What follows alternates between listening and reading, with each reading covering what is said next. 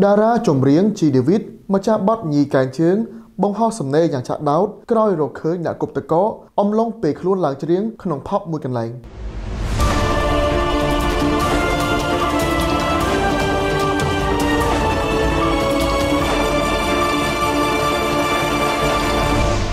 បន្ទាប់ពីមានហេតុការណ៍ជនមិនស្គាល់មុខបានយកតកគប់ទៅកាន់លោកងួនច័ន្ទដាវីតអំឡុងពេលសម្ដែងបទចម្រៀងនៅផប់មួយកន្លែងក្នុងខេត្តប្រស័យហនុរួចមកស្រាប់តែជីដាវីតបានបង្ហោះសំណេរយ៉ាងចាក់ដោតក្រោយរកឃើញអ្នកគប់តកតាមរយៈកាមេរ៉ាសុវត្ថិភាព។ យោងតាមភេកផ្លូវការរបស់ម្ចាស់បទញីកែងជើងនៅព្រឹកថ្ងៃទី1ខែសីហាឆ្នាំ2023នេះបានបង្ហោះសំណេរយ៉ាងវៃអនឡាញដោយភ្ជាប់ជាមួយរូបភាពមួយសន្លឹកដែលមានខ្លឹមសារទាំងស្រុងថាថ្ងៃនេះបន្ទាប់ពីខ្ញុំបានមើល security video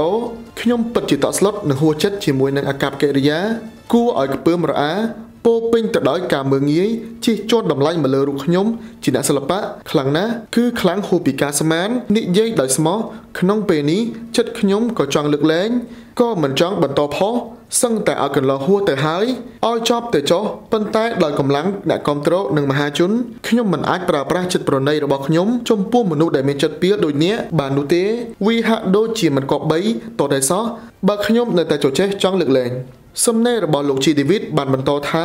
ខ្ញុំជាមនុស្សរឹងមាំគ្រប់បញ្ហា តែខ្ញុំក៏មានបេះដូងឈឺចាប់និងទង្វើថោកទាបបែបនេះដែរដោយហេតុខ្ញុំផ្ទាល់បានជួបរឿងនេះខ្ញុំនឹងក្រោកឈរជាសិល្បករម្នាក់ដើម្បីលុបបំបាត់ការមើងងាយមើលថោកដល់សិល្បករនិងសិល្បករនីដទៃទៀតក៏ដូចជាក្រោកឈរដើម្បីមហាជន និងអ្នកគ្រប់គ្រងរបស់ខ្ញុំខ្ញុំសូមអរគុណដល់បងប្អូនខ្ញុំពិតជាមានការកក់ក្ដៅដែលឈឺឆ្អាលសុខទុក្ខរបស់ខ្ញុំខ្ញុំសង្ឃឹមថានឹងមានវិធានការចំពោះជននេះ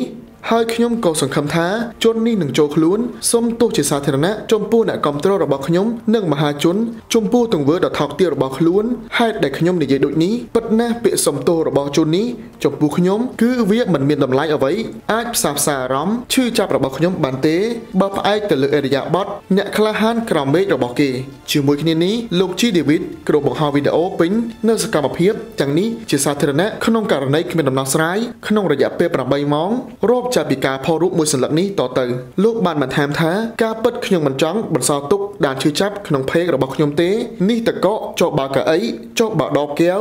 ចានចុះបើមិនត្រូវតែខ្ញុំហើយថែមទាំងត្រូវបងប្អូន ដែលបានមកគ្រប់គ្រងខ្ញុំវិញទោះជាឈាមខ្មៅមួយទួខ្លួនរបស់អ្នក ក៏មិនអាចសងគ្រប់ផងក្នុងរូបភាពខាងក្រោមនេះជាផ្នែកមួយនៃអាកប្បកិរិយារបស់បរិកំណាចក្នុងអំឡុងពេលខ្ញុំកំពុងច្រៀងនៅម៉ោង12:41នាទីរំលងអត្រាតឈានចូលថ្ងៃទី30ខែកក្កដាឆ្នាំ